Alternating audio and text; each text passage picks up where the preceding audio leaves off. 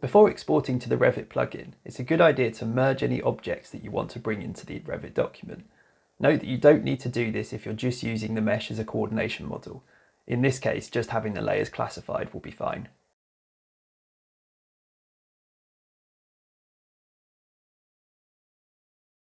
The easiest and safest way to merge is to first classify the objects that you want included in your final model. You can then easily isolate these layers, check for any mistakes, and quickly merge the objects at the end.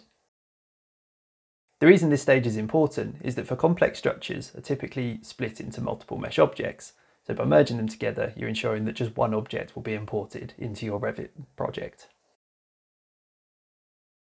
Finally, it can be a good idea to make sure you have the IFC mapping set up correctly in your layer templates. This will mean that the Revit categories are automatically assigned correctly when you go to bring these objects into your Revit project.